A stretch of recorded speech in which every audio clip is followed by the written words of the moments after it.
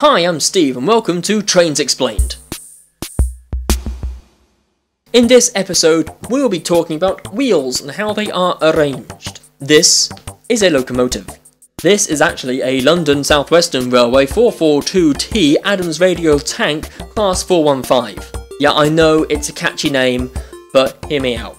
For the purposes of this video and many others, I'll be using my models that I've made for Transport Fever 2 in the Transport Fever model viewer. It just gives me a little bit more freedom. Um, if you don't like it, that's the way these videos are. I'm probably going to spice in some footage like this of the engine. That's real. Don't know if I'll credit it or not, I'll just find it online.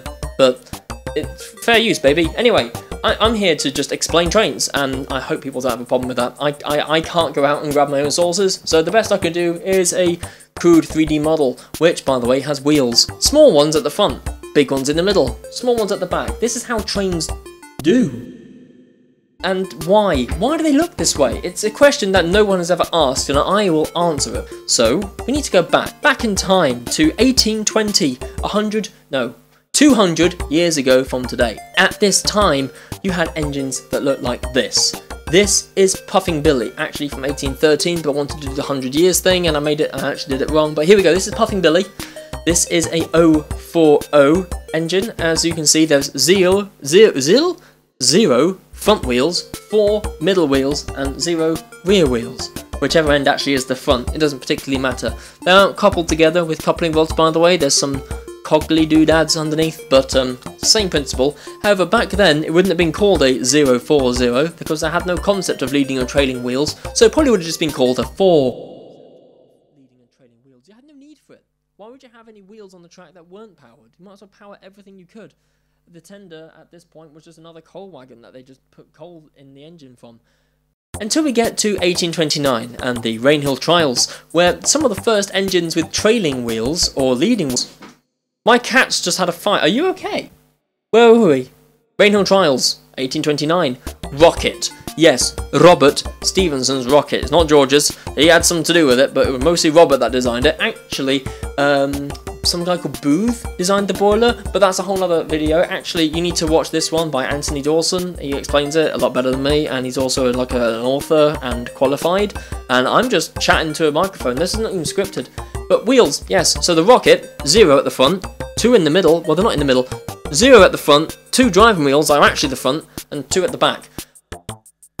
Yeah. So these are the, probably the first instances, apart from novelty, where the wheels aren't powered.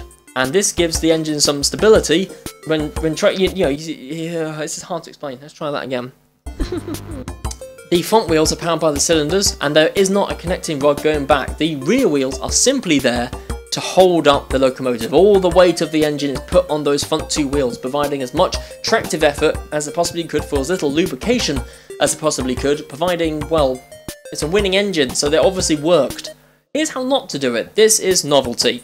This was a, well, this is a whole other video on why novelty failed, but this is also a 022. Leading wheels and the trailing wheels are the same size. Uh, and there isn't much weight distribution, so it wouldn't have had a whole lot of tractive effort, and it's kind of pants. But it did do well. It went speedy, and it did it did have a life of hauling various freight. And at one point, it had a third cylinder put in. Likewise, go watch this Anthony Dawson video. He's much better than me. So, let's advance through the years. So we go from rocket to planet. As you can see, the wheels are just swapped around. The front ones are guiding it around corners a little bit now. You've got the big wheels at the back. Then you got patentee. This has the exact same wheel arrangement, just with two more at the back, giving a bit more stability. And as we advance on, we get to the engine we're looking at here, the Adams Radial Tank London South Western Railway 442T Class 415. This engine is kind of special in the fact that it uses radial technology, but I'm not going to do that in this video, that's probably a whole nother thing, or just watch this Chris Eden Green video over here. Anyway, so we've got here four front wheels that guide the engine around corners, four driving wheels, giving the tractive power to the train, giving the initial torque to move the coaches off and keep them going. We have rear wheels, keeping the bunker in check. Uh, these are pivoted, these are the radial wheels by the way, they do some fancy turning which make the engine not bend. And we've also got the, the uh, wait no that was all the wheels.